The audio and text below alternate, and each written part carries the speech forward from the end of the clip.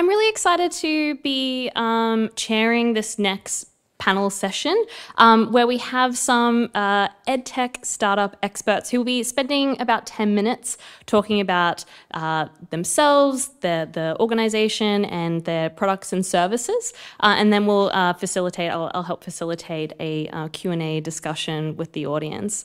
Um, so I'm going to invite up first uh, Lauren Lauren uh, Glina from uh, Agape. Let me just. So, uh, Lauren is the founder of Agape EdTech. As a mum, an engineer, and an educator with a career spanning space, robotics, and high tech startups, she's passionate about seeing kids have the same opportunities that she did by creating exciting, fresh, and engaging STEM education products and experiences. Please welcome Lauren to the stage. So, hi, my name's uh, Lauren Glina, and uh, yes, I'm the founder of um, Agape, and I'm going to talk to you today about my product, which is here.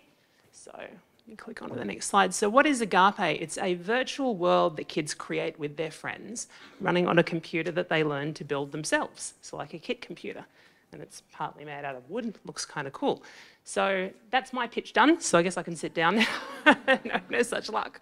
Um, so I thought, well, I'd spend the rest of my time talking about, you can see what the product is, but like, I guess, why? Why do we want to have a, a situation where kids are like building their own computer and creating their own, because it's connected to the internet, they can build things and chat with their friends. Why do we need to give kids the ability to create their own online social spaces? Why is this a thing that's important? Well, the answer is that you failed. Boomers stuffed up, and I include myself as being a boomer. In the broader sense of the term, I think it's anybody over 30, isn't it? Is that what Generation Z think these days? So, uh, you know, I think that we, the social media that we've created, these social media sites, they're troll factories full of nasty people. And, and I think that, you know, we created this. And now I think that we're trying to tell our kids that this is just the way that it is, and they're just going to have to accept this. Um, you know, and I think that the research is becoming more clear. It's like what has been associated with kids and social media anxiety, depression, negative body image, uh, dental caries.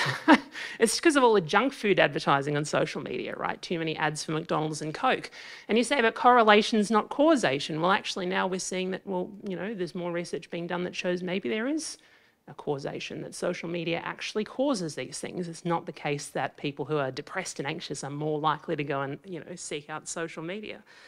Uh, so, you know, we have these problems, but then Zuck, you know, it says, we're definitely focusing on kindness and making this a friendly place, threads.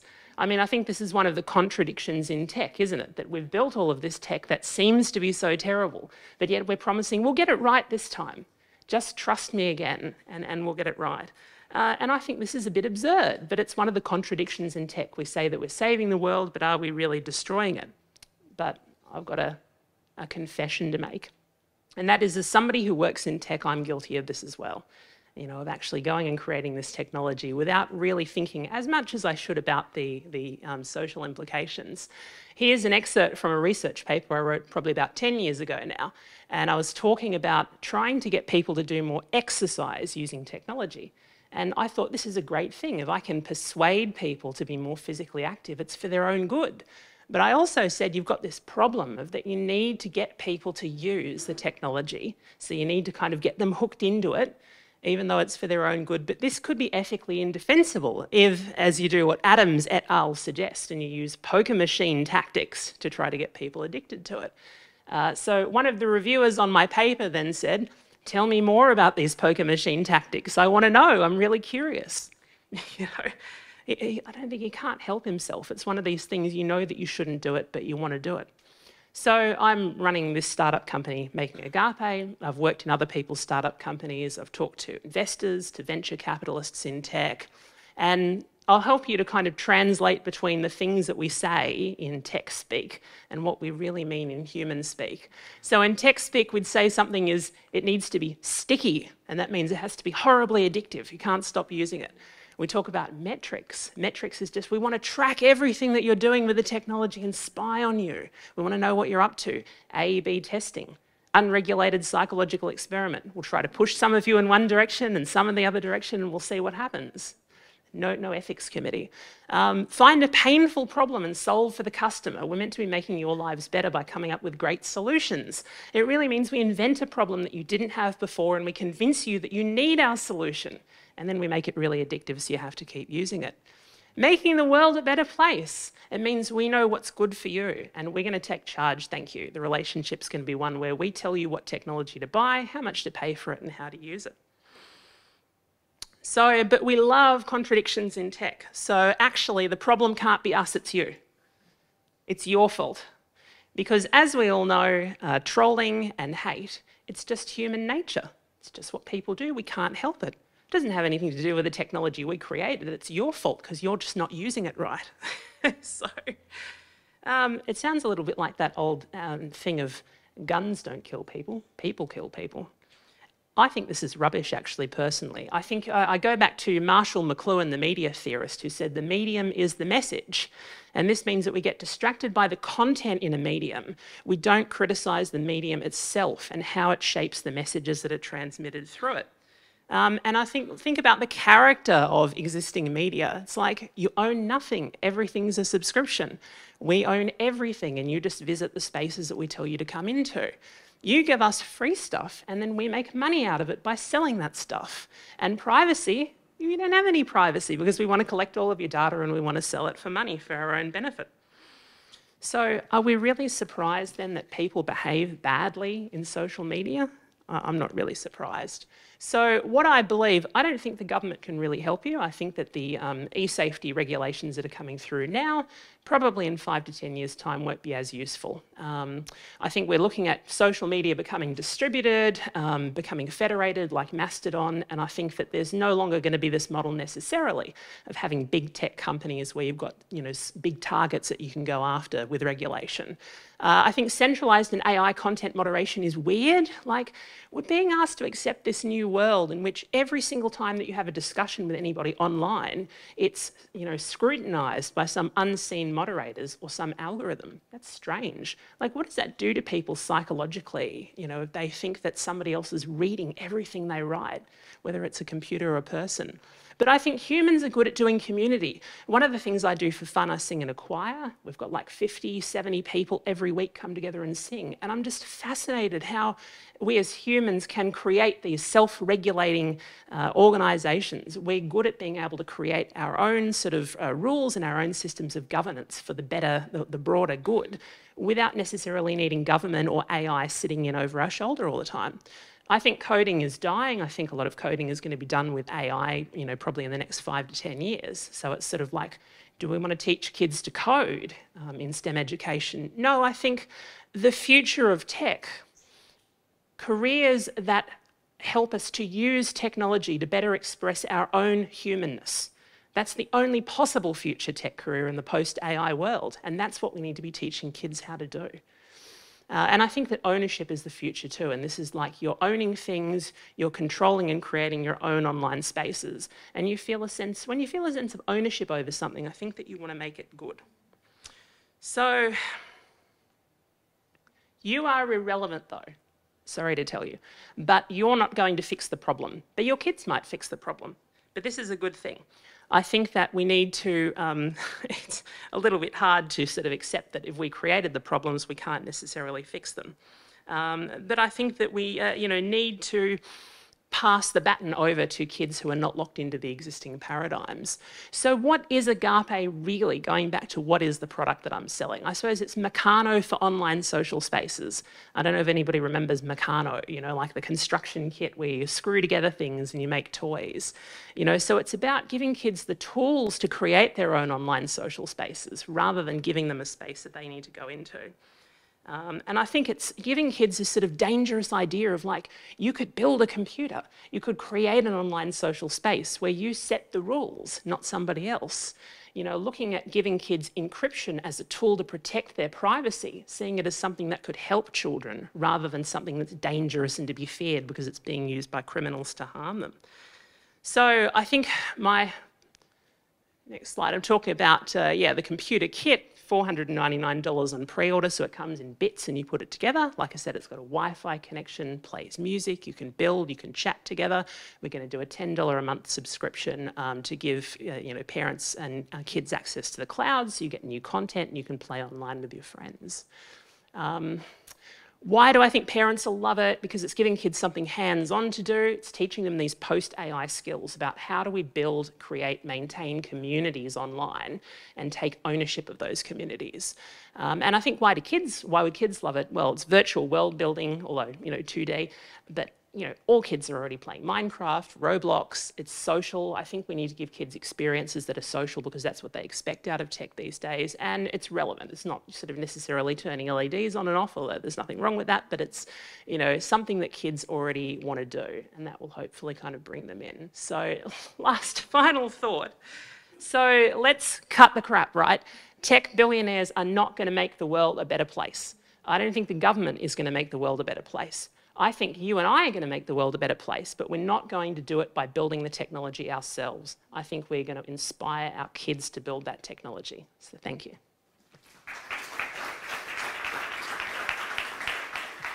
Thank you, Lauren.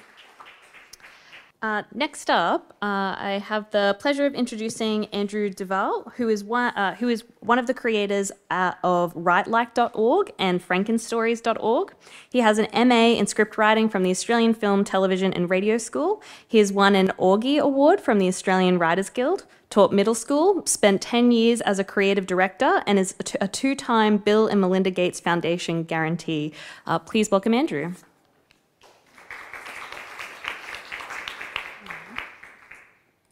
All right, so um, I've got like 80 slides or something, so I'm going to blitz it. You just let it wash over you. It'll be fine. Um, as uh, one of the other presenters said, there's a yeah, yeah, a lot of text, don't read it. I'll, I'll point out what you need to look at. Um, okay, so let's get started. Yeah, I've got a weird background. It's hard to summarize. Um, so I think one useful thing to understand about me is I'm a combination of writer, teacher, and digital design director, um, all of which, any of those three, there are people that are better than me at all of those, but the specific combination is kind of unusual. Um, so one of the things I'm interested in is this guy, blank page. Like, it's, it's a real problem. Um, I don't like it. Uh, and I'm not the only person. Students don't like it either. Like, writing achievement scores are a contentious metric anyway, but one thing you can say about them is they never go up. they only ever go down or they stay flat. So students find it really hard too. Um, so part of my story begins in 2013 when I got the, the Gates Foundation money to work on this thing called WriteLike, which is I wanted to make a platform that was about using short form mentor text modeling as a way to learn sort of advanced writing skills. That was kind of the basic idea. So WriteLike is this library of lessons like that. They're made up of pages that look like that. They've got like little interactive exercises on them, but basically it boils down to this writing little variations of mentor texts that you sort of get a little interesting pattern for and you apply it to your own content. That's the basic formula. Now, the problem with it is it's actually pretty good. It's pretty effective in the same way that going to the gym and doing reps will be effective. You've got to go to the gym, you've got to do the reps. That's the hard part. So, like, there's an engagement and motivation threshold that's a real issue for it. Um, so, a few years later, um, WriteLike had always been sort of a side project at, at my old job, and then kind of just got sick of doing client work. And a couple of us, you know, the Chris, my programmer, we wanted to go out and just basically focus on it full time, sort of wrap it up and get it finished and, and sort of see what we could do with it. But it was like, if we're going to do this, we need to solve this dopamine engagement issue first. So what do we do about that? So we made Frankenstories, which started off as like a little feature inside it and then sort of just metastasized a little bit. So Frankenstories is a multiplayer creative writing game. And for context, my focus is kind of primarily on sort of middle years writing, but like this is something sort of scales up and down out of that. So the way it works is students jump in, everyone just jumps into the game, everyone gets a writing prompt, everyone gets the same writing prompt in the group. Uh, you write, you play the game in a series of rounds, and the rounds are made up as a series of phases. So a standard game might be like five rounds. So first phase, everyone starts writing simultaneously. There's a little clock, so you might get 90 seconds. Then there's an anonymous voting round where you sort of get to see what your, your peers have written, pick out your favorite and then winners are revealed and, and who got what votes and hearts and all that kind of thing. And then the winning response is like stitched in as like, okay, that's the round one canonical bit. And you dump back into writing again, 90 seconds, keep going. Uh, and then you repeat that over a number of times, five times or whatever, and you stitch together a story or a text or whatever it is. And there's a bunch of data associated with that. So that's the basic process. Now, when we when I describe this to teachers, they recognize and they go, oh, it's like an online version of telephone, like the game where you write something on a sheet of paper, give it to somebody else, they write something, you fold over the first response, you pass around like that. That is also what I thought we were building, because it was Chris's idea, not mine. He was like, oh, we should do a multiplayer version of this other thing that we had in WriteLike. And I was like, oh, that'll be like telephone. That's, that's what, fine. It'll be cute, fine. Um, but actually, once we built it, the first prototype took a couple of weeks, played it for three or four weeks. I was like, oh, it's not telephone at all. It's theatre sports. That's what, that's what this actually is. And if you know anything about theatre sports, you recognize it's much more complicated and, and a rich experience than you might give it credit for. And once you start to see how all the things that I broke up for you individually all sort of stack together in, in, a, in a single interface, you start to realize there's actually a lot sort of going on in these experiences. So I'm going to unpack it a little bit for you in theory terms. So in a game, you can talk about this idea of a core loop. Like, what is the thing you do over and over again in a game? And one of the problems with educational games is most of the time, the core loop of the game is not the educational part. There's a game over here that you every now and then you interrupt to do a quiz, and then you go back to the game. Um, so, Frankenstories is actually you basically write, read, analyze, and adapt for 25 minutes solid, no downtime. And that's fundamentally what writing is. So, to come up with something or to stumble on something, really, where the core loop that you're doing actually matches the thing that you want to teach is kind of rare. Um, and if that sounds sort of self-evident, what's interesting is if you compare it to WriteLike, it's not actually the same loop. WriteLike doesn't have the adaptation step, and you do things in a different order, and the proportions of those step, those each of those steps are different to what you do in Frankenstory. So even if something sounds kind of obvious, it's, sort of, it's actually not in practice. So there are a couple of effects from this loop and the way that we've set it up. So these are some quotes from teachers. They're pretty obsessed with it. Never been so eager to write and read. Can't believe how even the resistant writers have attempted to engage. So there's an engagement effect. So that's the dopamine stuff that I was worried about at the start. And that comes from basically a combination of constant surprise. So each one of these little phases, there's always something different and unexpected happening.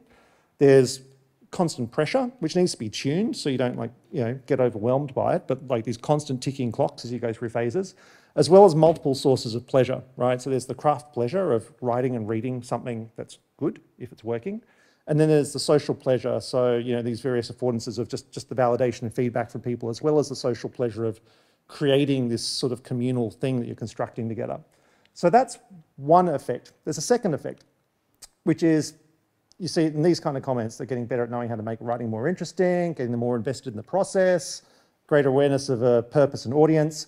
So there's a learning process that comes out of it as well, which I relate back to some of the learning theories that I'm interested in, like so cognitive load, the idea of everything's broken up into small chunks. You're constantly learning off of examples of other people's writing, that there's a lot of repetition built in the game, so you can sort of build up these kind of complex schema. Um, genre-based pedagogy, so everything you do is always situated within an actual craft, a text production sort of uh, thing and you're learning lots of um, you know, genre-specific patterns and skills as you play. And then social learning, so the idea of you're learning off of peers constantly, as well as you know, you're, you're learning in a community, as well as you're learning to do a sort of a valid social task, so constructing a text for an audience. So one of the other things that teachers talk about is the degree to which the students love knowing they're writing for each other, that they're their own audience. So, um, and, and, and that sort of learning thing stacks up it, it's really transferable. So like you get all of that compounded in this environment and then it transfers over when, you know, teachers will do things like the kids will pick up their text from the game and then come and dump, dump it over here and rewrite it and edit and do their own versions and that kind of thing. Third effect, final effect. Um, work in a high poverty school, getting kids to be creative has been a struggle. This has started helping them bring out their imagination. Um, they really like the collaboration, both the individual part and collaborating on the stories, uh, brings us all together. So creativity and collaboration, I think, are two terms that um, uh, I, I, think are often spoken about a bit vaguely in education, um, but I would argue that something like Frankenstories actually helps really target very specific attitudes, sub-skills, components of those two things. So, you know, on a creativity front, actually about observation, free association, combining things together, as well as the way that creativity is related to craft skills and what you can execute. In collaboration, you know, this sort of fundamental value of selflessness, like I was saying to somebody like, um, Frankenstories is a bit like high intensity interval training for your ego, you know, because you're constantly like having to put something out, you know, losing. But then, like when you lose, even if you don't win that round, you have to then adapt and internalize what the person before you put down anyway. So there's this constant sort of thing. Anyway, so I think it's really powerful in that regard. So altogether, you get this kind of engine going where you get this like loop of activity and you get this sort of engagement layer and the learning layer and then this sort of emergent creativity and, and collaboration thing that comes out of it. Now that's all basically a blank kind of format, right? When you think about it, like it's, it's content neutral. So what can you do with it? How do you teach with it? Now I'm going to show a bunch of, you're going to see a bunch of stories and all you really need to do is like just look at the, um, the, the, the picture with the blue heading thing like that. Otherwise, just you'll get overloaded with it. So you can use that blank format to basically teach any genre of writing. So it's called Frankenstories, but you can do any, any type of thing. So, you know, you can do stories like that. Um, this looks like a story, but it's actually a news report about a, uh, a, a collapse of a human pyramid at a community center. Um, this is an argument about um, whether or not Buff Pikachu is actually a life in the Dreamhouse Barbie character based on hair care routine and uh, aspirational lifestyle.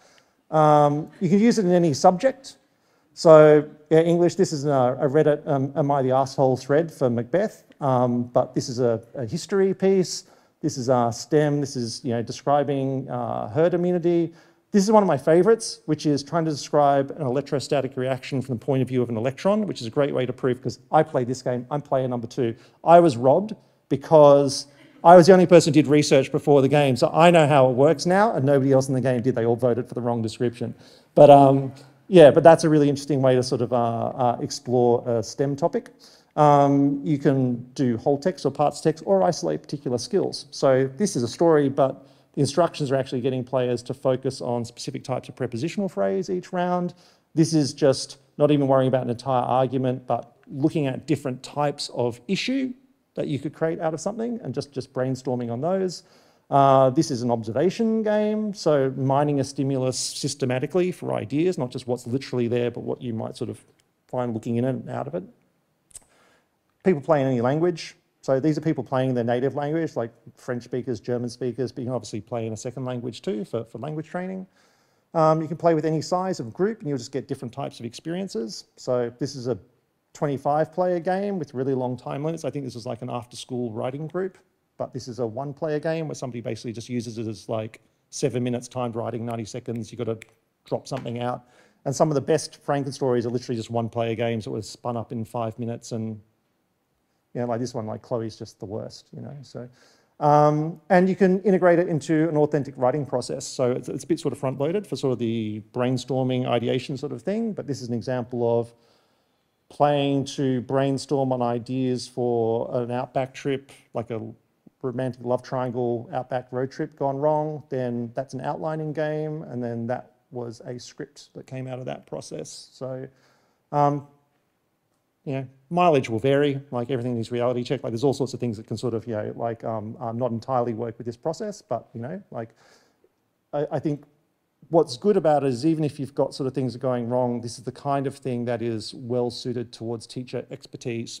So like what this teacher is saying here is they're describing a mode in the game where the teacher can observe what the players are writing and as they're submitting responses, the teacher can basically whack-a-mole them if they're derailing the story. So sometimes kids will write really trolling responses. So you've got to have this kind of iron fist, velvet glove kind of affordance. But what this teacher is doing is taking that mode of the game, projecting it up onto the whiteboard, and creating like a second voting round where the entire class looks at everyone's things and the entire class votes to eliminate things that they think are a waste of time and discuss all that stuff. And then they go to the anonymous voting round. So I think things like that where you know, teachers can take very sophisticated approaches to a really open-ended tool are, are important. So yeah, basically it's taking this big beast, turning it into this kind of different sort of experience, taking that engine and you create this kind of you know, effect basically. And so if you want just basic sort of business stuff, like where are we up to, like there are different ways of describing this, but essentially End of last year, we were over the sort of 1,000 monthly active user threshold, which includes teachers and students. So about 10% of those would be teachers. By June, we were over the 10,000 threshold, two thirds of those in the US. Nobody pays, like there's a tiny fraction of people who pay. Most people use the free version. And, um, you know, we're launching some new stuff in the next couple of weeks. Will hopefully be enough to make people sort of start to pay. It's just that sort of long climb up the, up the user ladder, basically, and trying to make it sustainable in some way. So that's, that's it. That's my story. Thanks. Thanks, Andrew. Uh, so, our uh, last speaker is Troy Merritt, who is the co director of BitLink, a technology and education company based in Launceston, uh, Tasmania. BitLink develops educational resources that aims to improve teacher confidence in design and digital technologies. Troy is also a PhD candidate at the University of Tasmania, researching the very timely issue of children's privacy and the Internet of Things. Please welcome Troy. Thank you. All right, I'll, uh, I just threw these slides together last night, so uh, because generally when I'm talking to teachers about this, I'll go on for half an hour to an hour, so uh, hopefully this will keep me to time. Um, but yeah, basically I'm from a company called BitLink, and we are a technology education company. We're based in Launceston, Tasmania, um, and we're educational designers. So we like to build educational content for teachers to deliver and we've got about 10 years of experience working with schools. So in terms of what have we done, BitLink has been on a journey for 10 or so years, um, and it's uh, um, a company that started off, it was, uh, I met James, the, uh, the, the founder of BitLink, um, when I went to do my master's at the University of Tasmania, and after I finished that, um, we started doing some software development projects together. Um, we did some work with universities, and we were always prototyping little nichey um, things that they couldn't get a, a proper developer to uh, to do because it was too small of a job. So we did a, little bit of that sort of work. Then we got involved with starting a makerspace that we ran for five years uh, at the um, QVMag Museum in Launceston, which was a great experience for us. Um, we never got a dollar of funding to run this thing. It was run 100% on volunteer hours and a hell of a lot of tears, um, and, but we loved it. We loved doing it, but eventually we burnt out.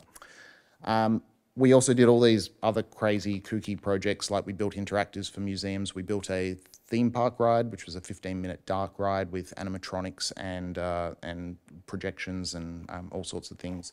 Um, but alongside doing all of this, whenever we were doing these these weird development projects, we were always doing educational work as well, whether that was in the makerspace or working directly with schools. So we did after-school programs, we did school holiday programs.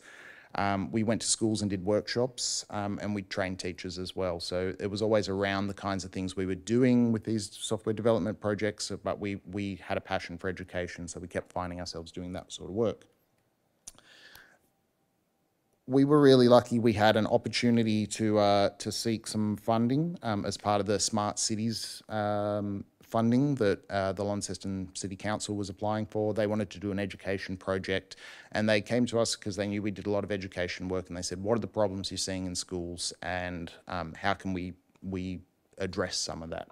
So we'd seen a lot of different problems and, and one of our um, most common things is that we knew that we could walk into pretty much any school in Tasmania and um, we would go in with electronics kits, little Arduino kits and um, and the school would go, oh, we've got some of those. Um, and they take us to a cupboard and there's 10 kits and one's been opened and the teachers looked at this and gone like, this isn't going to work.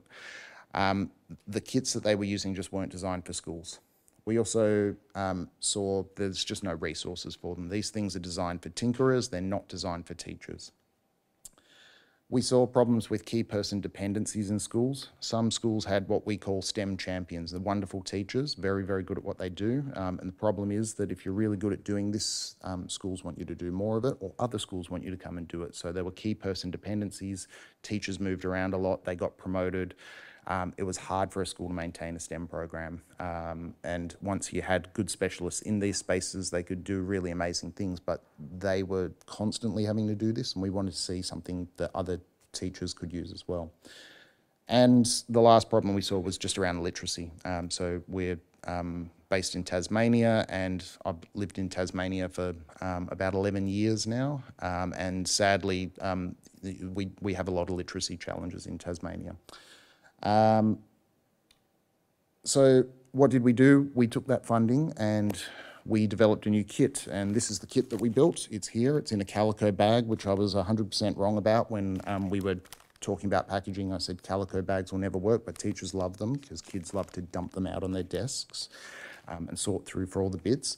So it's basically it's a kit designed around the BBC micro:bit. Wonderful little physical computing product. Um, got a great block-based coding language um, that they use with it. Um, we've curated a, a selection of sensors to go with that. So we don't actually build anything, we put everything together in the kits. Um, we've designed this all with students and classrooms in mind. So it's all designed for grades three through six. Um, we did some really nice things with the packaging, with um, very visual packaging um, for the components within the kits, um, resealable bags and things to make it very classroom friendly. But the kit is probably the least interesting thing we do. So the kit was 100% designed to support the lessons and the outcomes we wanted to make. So we knew that the resources were the important things. So what did we do? We worked with uh, 10 different schools in, uh, in Launceston and surrounds, um, and we co-designed with the teachers, 10 different teachers, we co-designed lessons. So we ended up making 20 curriculum linked lessons to go with this kit. Um, and the lessons led what ultimately ended up in the kits. We created uh, resources for the teachers, including slide decks, lesson plans, um, and solution code um, for all of the projects that were in there. Um, and this was all based down to the things we saw when we were doing the pilots around different teaching styles and the things we could do to support as many different teaching styles as we could. We had 10 teachers, we saw 10 different ways of trying to teach STEM content.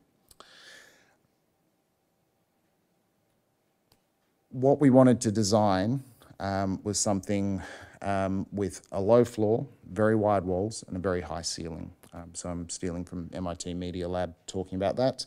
But we wanted to design something that any teacher could pick up because we saw a lot of problems with teacher confidence. Um, teachers were just scared to get into teaching design and digital technologies because they felt they had to be experts in it the first lesson in our sequence of lessons is so simple, um, it's impossible to fail. Um, it is just get the micro:bit to show a number. Um, it is so easy. We give it to third graders and they get it like that. If it takes them 15 seconds, um, that's a really long time. Um, so we designed that as our first lesson simply to teach kids about how to get some code actually up and happening on the micro:bit, but also so teachers can't help but get through that first lesson and realize actually I can do some of this. So that's a really important thing for us. One of the things we do with our lessons is our lessons are not tutorials. Everything's designed as a series of challenges. And this came from the teachers that we were working with. They didn't want just here's a list of instructions, go and follow that. They wanted something that was going to be more engaging for students to work with. So we've designed, every lesson is designed as a series of challenges um, that, that students complete and it's all scaffolded so there's always things they know how to do and we're adding in one new element the last thing that we wanted to do with the lessons was give teachers lots of scope to be able to expand and do more with this. So we basically make it very easy for teachers to remix projects, to change things, um, and we're really not, um, we, we like to joke that what we've built are serving suggestions, they're not recipes. We don't want teachers to just lean on what we've done, we want to give them the ability to change and adapt these things as well. So we were really interested in design and di digital technologies curriculum, so we chose the Internet of Things, um, the idea of all of these tiny little computers that are out there in the world sensing the real world, and we chose those as the hook, um, and that was a really good one because it brought real world themes into the classroom. So we ended up designing 20 lessons across four different themes. So our introductory module is called Meet micro:bit. It's all about um, just getting to know that micro:bit board, what all the sensors on board do. But then we've got a module on smart homes, a module on smart farms, and a module on smart cities that take you through projects um, that have these themes.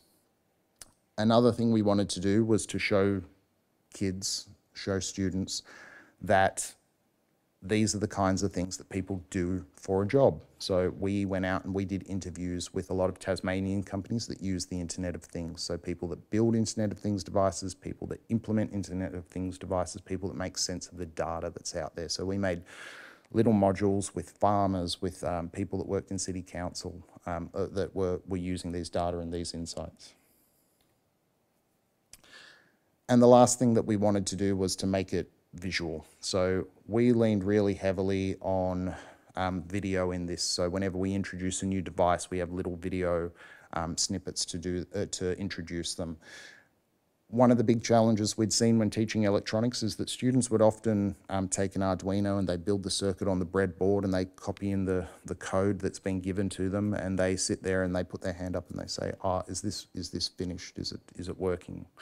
They didn't actually know what working or done look like. So we try to do that with our challenges. We show them the behavior that we want and, um, and we um, basically, we, we make that very visual for them.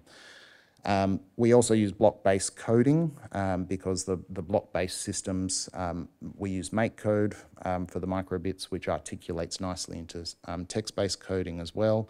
Um, but that was a really nice way to, to get around some of the literacy challenges. Everything's color-coded and, and children can understand what the blocks are saying, even in grade three, when they may not necessarily be able to read some of those, the, some of the, the blocks that are there. We did one more thing with video as well, um, which is we went and made a TV show. Um, now, when we were given some funding to do this, they didn't say make a TV show, they said use video. And in every other parallel universe, it's just me and James um, sitting there telling kids this is what you're going to do in today's lesson. But we wanted to do something more interesting than that, so we made a TV show. We called it Maker's Treehouse, um, and it uh, was a lot of fun to make.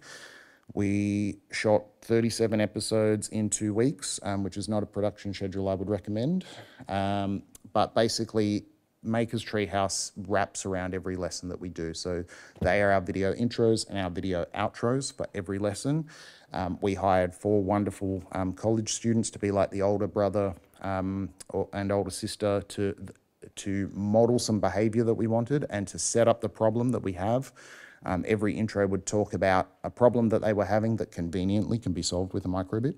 Um, and then there would be an outro video for every lesson as well, where they, they recap and they, um, they talk about how they solved that problem. So they, they, they don't go through the code in great detail, but they talk through the concepts. And this was important to us because it helped us to model behaviours we wanted in the classroom. Everything we do is designed for pairs of students, so we wanted to focus on collaboration. We wanted to focus on resilience as well, so the videos show that it doesn't always work the first time. Sometimes you have to make some changes. Uh, I know that uh, time is tight, so I'll just talk about what we're doing now. So basically, we are continuing to develop material um, for the IoT kits. Um, we're doing a lot of engagement work with teachers. We're running a series of events called PL in the Pub because we want to bring teachers together um, and we figure the best way to do that is with beer. Um, so we actually get um, educators to talk about their practice in a pub um, and uh, have a drink and that's really, um, we're starting to get some momentum on that in the north of Tasmania. we're also one of our first big customers out, outside of the project was actually we started selling them to libraries and museums, and it turns out that the kit that we spent um, 18 months developing specifically for classrooms isn't exactly the right thing for libraries and museums, so we're actually working on that solution as well. We're also um, exploring partnerships at the moment because ultimately we're an impact focused company. Um, we're not out there to make a lot of money um, with what we do. We're really just trying to get this kit into as many schools as we can because we think it's a really great solution and that's really where we are now. We're trying to figure out how to do that. Um, it turns out that James and I, we love educational design, we hate sales. Um, so we are trying to figure out what the best way to get this product out to, to more schools. And uh, yeah, if anyone's got any suggestions, you can come and find me after the presentation. Thank you.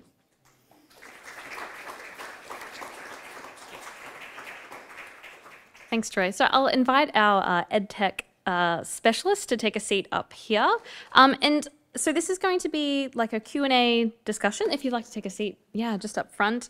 Um, so we'll have a roving mic as well, but um, I'm going to have facilitator privileges and um, ask my questions first.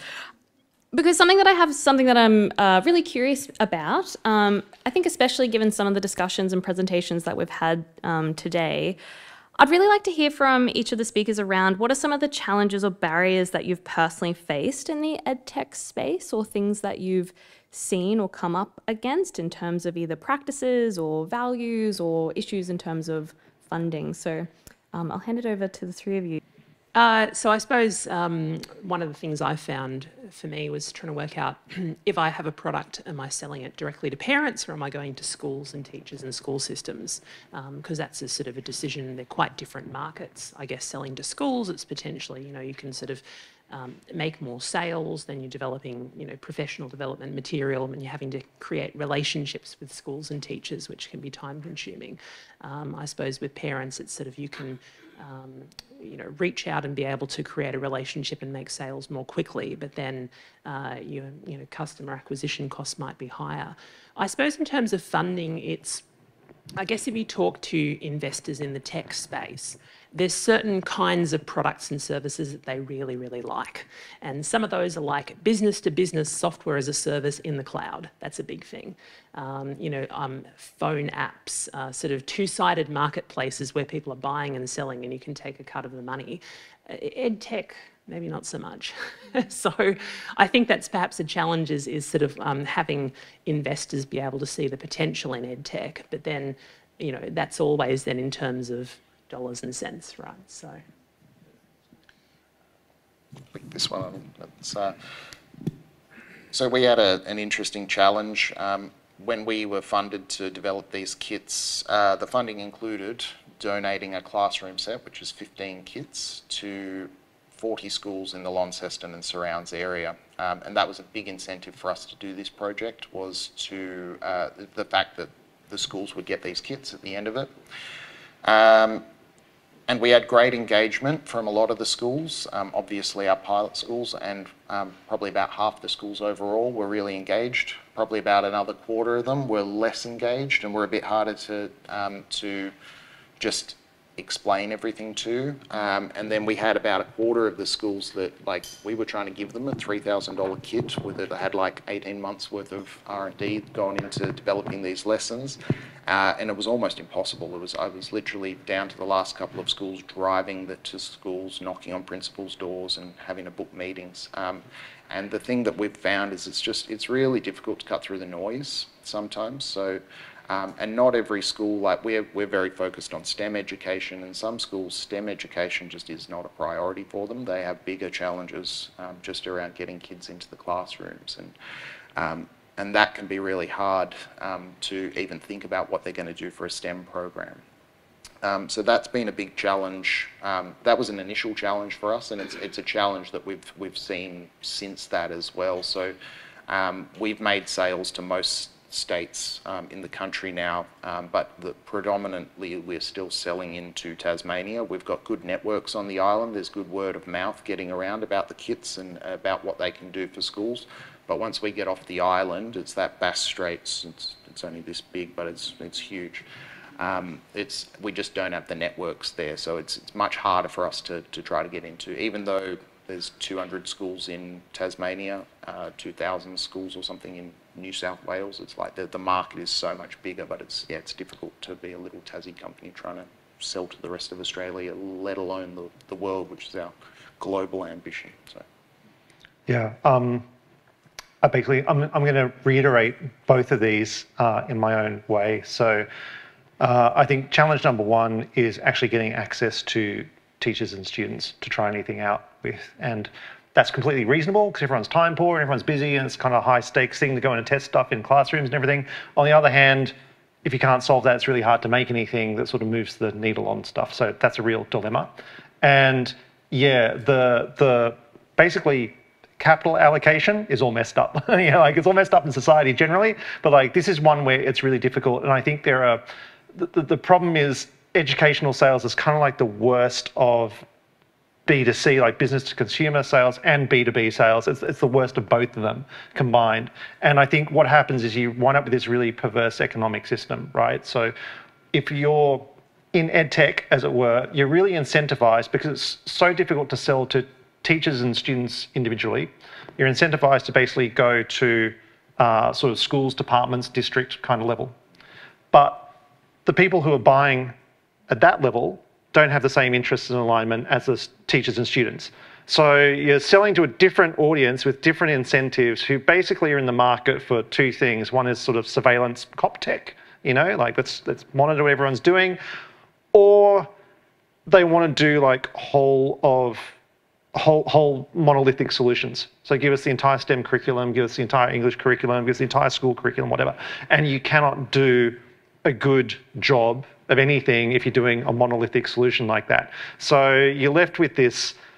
I would, I would probably guess that like all three of us are interested in actually doing these pretty niche learning experiences that um, it's yeah it's hard to get the sale pathway in and we're not interested in like dominating the entire curriculum in a school and it leaves you kind of really trapped and so and also like the purchasing cycles in schools quite long teachers need to take time to get up to speed with what you want to do which means everything really drags out so there's a real fight for survival when you're occupying this niche in the industry to just stay alive long enough that people start to adapt and yeah catches on basically those are the challenges Yeah, just a small amount. Um, I'm opening it up to the floor. Is there any questions that anyone would like to ask our EdTech experts?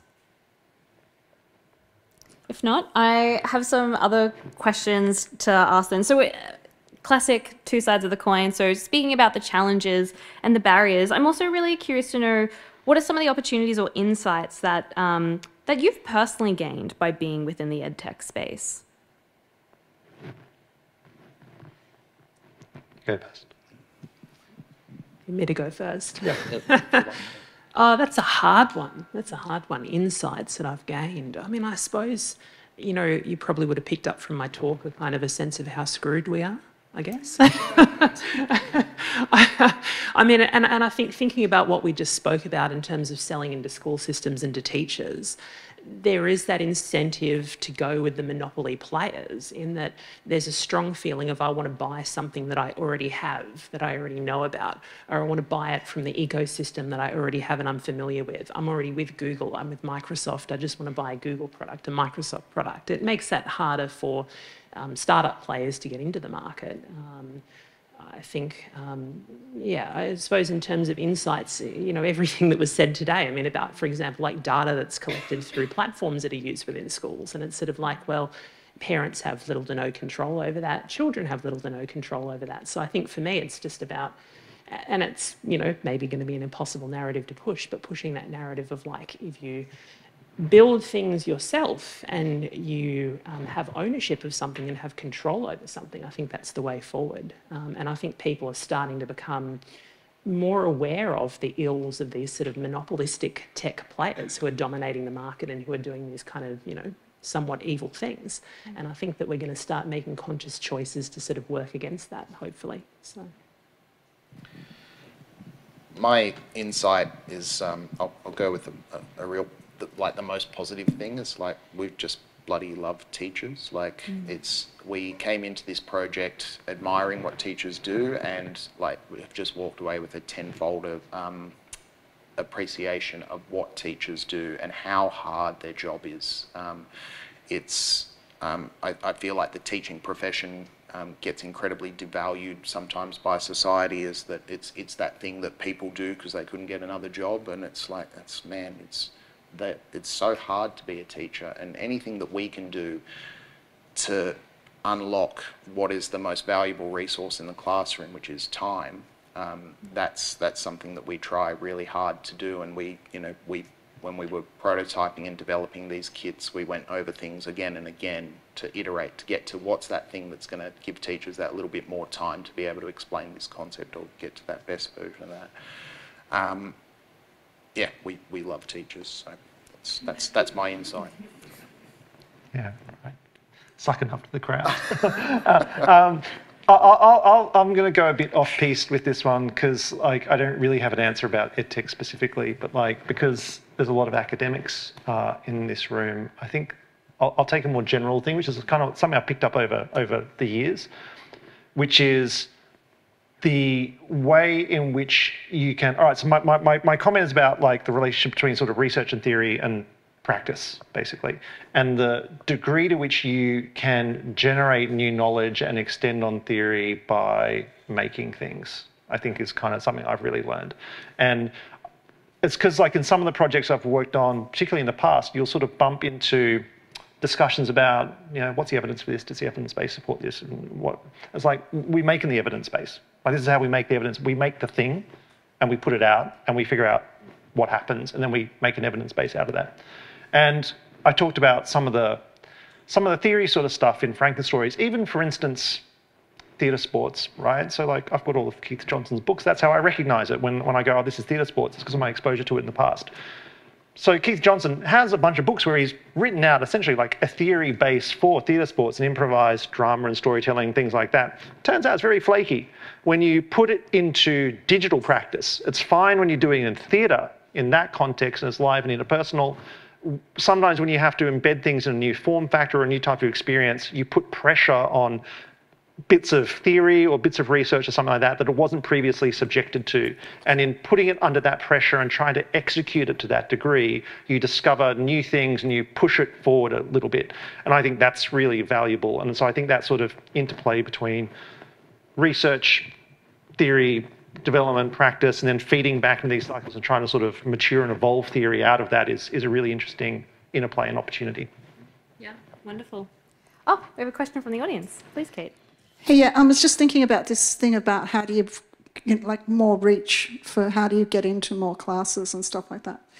And it's it's interesting. It's a, it's a conundrum because there's all these gatekeepers along the way. Hey, that are that sometimes block. I'm not going to say anything that you don't know, but I'm just going to say that one of the things that maybe it might not be the centre of excellence for digital child, but it might be somebody else because it's the shoulder to shoulderness. And as soon as you don't have competition between all the ed startups, and they work together to create a, um, a pathway into schools is probably where the strength is going to be. But it might not be you. It might be um, finding somebody who does that, who puts in, who puts in the time to build relationships directly with schools that then champion um, champion new products through. You know what I mean? Like sometimes it's not about you telling everybody how good it is.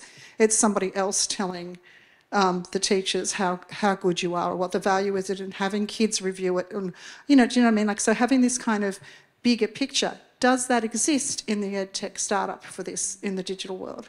Can, can I pick up on two things that you're saying? Like one is this was literally uh, the question slash comment I wanted to make about your presentation because you talked about collaboration with other entities of that. And again, this is just another thing from sort of my previous job as well. Like we would work on a bunch of largely sort of big government projects, and it was always a real priority for us to play nice in the ecosystem, right? Like make space, everyone join everything together, that kind of thing. And it's it's actually kind of rare. And like, and again, particularly in like the non not-for-profit sector, there's a lot of like, it's all social good, but actually the economics are limited funding pool, really cutthroat. Chasing the same dollar, absolutely. Yeah, yeah, yeah, and it makes everyone really vicious at the same time as like putting on this air of like, hey, we're all gonna, like, yeah. it's gonna be great. Uh, so I just want to say that for you personally, is like, I, I totally appreciate that. And the thing that you're describing about yeah, I don't know what the answer is. I think like the dynamic that you're talking about is right. I think it's really interesting that we were at QUT, and again, old job, used to work on these innovation sprints for Queensland government with Liquid. So it was a partnership between QUT, uh, Chair in Digital Economy, us and Queensland Government, we'd be presented with these poorly formed problems, one of which one time was about economic development uh, uh, in, in, in the state. And one of the recommendations out of that, because on these sprints you get like two weeks to work on a prototype something up, and some, some of them were kind of complex. But one of the recommendations from that particular sprint was we need like a producer type role, like a Hollywood producer type role, as in somebody whose job it is is just to be like a Rolodex and go around matchmaking, basically. Somebody's got domain and industry expertise, you need like a little squad of them. There's like, yeah, you got like one or two education people whose job it is just to roam around and go, that's interesting, that's interesting, that university thing, whatever, that private thing, let's put something together, let's make some stuff happen. Because like you need that kind of like matchmaking kind of function in things. And like that's how, yeah, that's how Hollywood works. Like that's how some of these big industries work is with that. So anyway, that was something that I don't think the government ever took up, but I still think it's a good idea. Yeah, I think it's a good idea too, because I think it's that isn't it interesting, because it's not just you, it's every student who's sitting in a university today who's thinking and dreaming up these things. Yeah, totally. And we, we all hit, the, everybody hits the same spot of how do you market to schools. Yeah. Um, and so just my secret mission has been not to market to schools and to find another way in. And so I sell everything to local government, and local government distributes to the schools. Yeah. And so the the schools get it for free, but the local government pays the license fee to me because I'm a business as well, as well as being a lovely person and really wanting to save the planet, I have to pay everybody on, Yeah. on my team, you know, like so. So do you know what I mean? Like so, this is this is the thing I came up with. Who is the middle person who benefits from having this distributed to kids to try and find who that person is? And so when you're deciding to do to science, to museums and to libraries, to charge them a fee that then when a library buys it, they, they buy X amount of kits that get distributed to schools. Do you know what I mean? Like it's like trying to find ways to. I'm, I'm, I know you guys think about this all the time. I suppose what I want to do is reinforce that that out of the box thinking until we get to a stage where we've got something that is a little bit more um, collab. Not, not, I don't even mean. I just mean good business. That there's somebody who is representing and making those inroads to schools, so that there is a way for you to be to giving things because the digital child is new. It's hmm. not. It's not a typical. It's not a typical thing. That we're not selling a book to the library. You guys are selling programs, and teachers are used to getting them for free, programs for free, and then sharing them with all their teacher friends. Like as soon as they even get them, they share them. And so we've even had to put a rider in when we have a teacher sign on. We say, please don't share this because we can't focus. Your support is, you know, your support is helping us.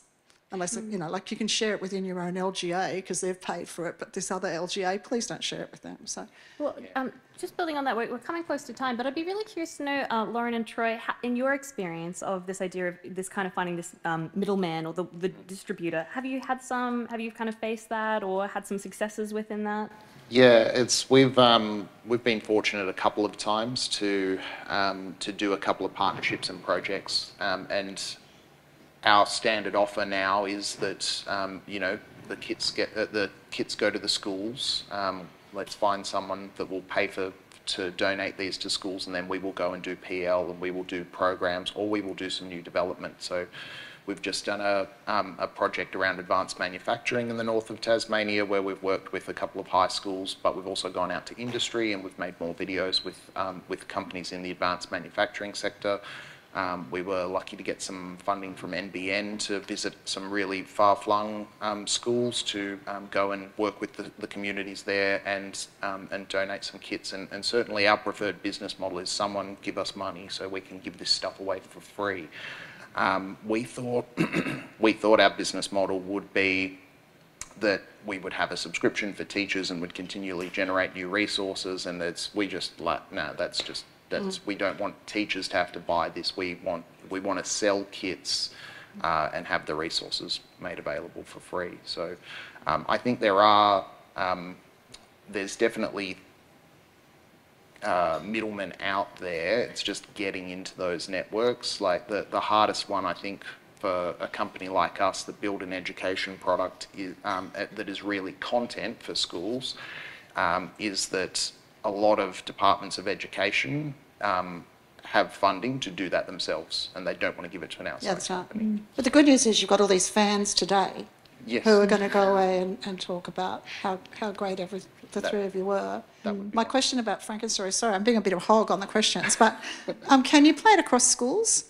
Like, does it have to be played within the one school or can they play it across multiplayer schools? Yeah, whatever, like that, that's all open. Just Yeah. send out a code. Whoever wants to go in, go in. Infinite players if you want. Yeah. Be chaotic, but you know. Yeah, awesome. but it's, it's fantastic. Great work. Excellent. Well, I, I just really also want to hold space. Um, Lauren, I want to hold space for you to, to maybe answer one quick little last question of saying, you know, what are you really excited about in the future of the edtech space? I'm really excited about. I'm excited about, I think, being able to not lock kids into the same paradigms that we might be locked into. I think we've got a particular sort of way of seeing the world now of like, it's all about, you know, what Google wants, it's Microsoft, it's Amazon, it's the big players we don't really have any choice but to sort of do what they want to do. Um, you know, we buy their technology, you know, AI is going to take all of our jobs away. I mean, all this sort of stuff. I think what I'm excited about with EdTech is the potential to kind of convey a mindset to our kids that they don't need to be locked into that same belief system. And I think what I'm really trying to do here with this kind of product is show that it's really it's simple. It's not complicated. Like you might think it's complicated when you look at it, it is a little bit complicated. But the, the hardware and the software that you need to put together to create like your own computer and your own social network, it doesn't have to be super duper complicated. It doesn't have to be like only Google can do this with a thousand engineers, you know, like only Amazon can do this with a billion dollars. And I think to give kids this idea of like if you don't like the way that the world is is kind of going and you don't like these paradigms you can be empowered to change them i think that's really important That's a wonderful note to end on. So thank you so much. Uh, thank you to our, our speakers, Lauren from Agape, Troy from Bitlink, uh, and Andrew from Frankenstories. Thank you so much.